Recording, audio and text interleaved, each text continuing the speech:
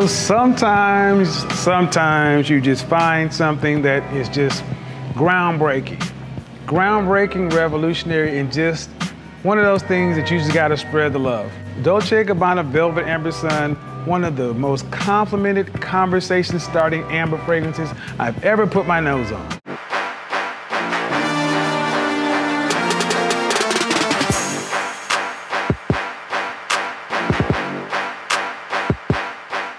Welcome to the channel where fashion meets fragrance. My name is Kevin Samuels, your style godfather. And guys, today's video, I'm coming to you live from the office and I wanted to talk to you about this one right here. Dolce & Gabbana Velvet Amber Sun. What are my favorite fragrance notes? Rose, amber, oud. Yep, I love rose, amber, oud. And I tell you guys, I own a lot of amber fragrances.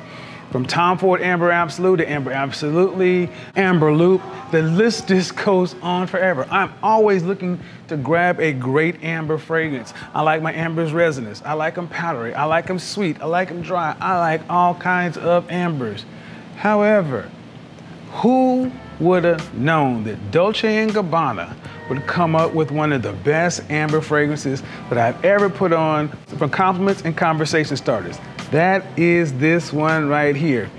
I'm gonna tell you, I have a neighbor who we really don't get along. Her dog likes me, but we really don't get along. I pet her dog. Person came knocking on the door. Excuse me. What were you wearing when you pet my dog? It smelled so good. I like to get it for my husband. That's this one. Out and about, walking around, even with the CV running around out here with the social distance, and people are like, excuse me, man, writing notes. What are you wearing? This one, this one, this one, this one. And to come from the Dolce & Gabbana exclusive or private line is even better because you don't hear a lot of stuff from this line. I'm gonna change that. I have several of them, but this one is special. Let's get into the C3PO system, the compliment factor on my skin. Super Amaze Balls compliments. This is probably gonna be one of my most complimented fragrances of 2020. I see that already. But not only does it get compliments, it starts conversations. People will come up to you and ask you what you're wearing when you're rocking and wearing this. Performance, a solid six to eight hours plus. Projection, two to three feet, and it keeps pushing for a good two or three hours. But the special ingredient, the sillage, the flavor trail, this thing has a long flavor trail, three feet plus.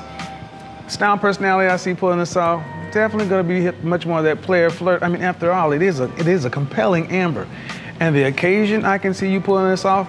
Believe it or not, guys, this stuff is actually signature scent worthy, and that's unique for an amber. Why? Because it doesn't have that hard incense peppery resonance thing. It's actually much easier to wear in temperate climates and warmer climates. I mean, right now it was in the mid 80s today, and this was on, and people were loving it. Even as we are coming back to life, this fragrance is been killer.